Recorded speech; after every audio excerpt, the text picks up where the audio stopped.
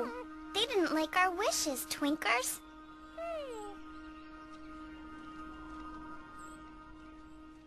What's wrong with the wish?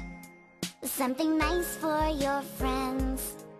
When the day's not so great, you can change how it ends. It's a wonderful gift to wish someone